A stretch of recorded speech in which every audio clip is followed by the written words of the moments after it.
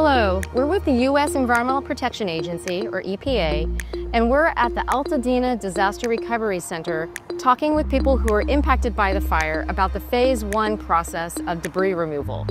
And in Phase 1, EPA sends out trained, specialized teams to remove household hazardous waste from each property. For more information about our response work for the California wildfires, you can visit epa.gov forward slash California wildfires.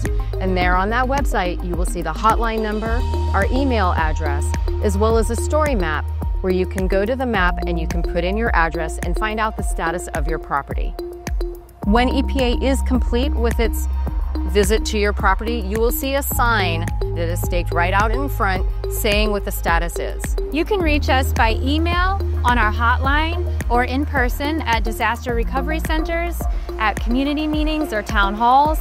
And if you would like us to speak to your group, you can reach out to us and we'll be happy to make that happen. The mission of the EPA is to protect human health and the environment.